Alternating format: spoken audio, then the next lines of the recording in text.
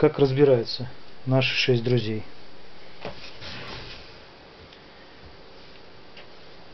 Нажатием кнопки отсоединяем колонку. Нажатием второй кнопки отсоединяем колонки. Держатся они на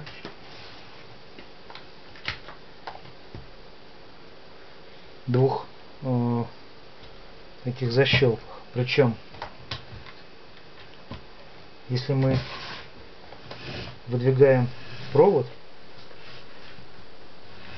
то потом убирается он внутрь довольно просто нажатием.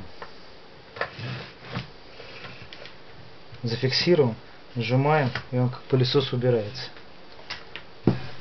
Центральная кнопка поднимет верхнюю панель вверх. Вот она. Оп.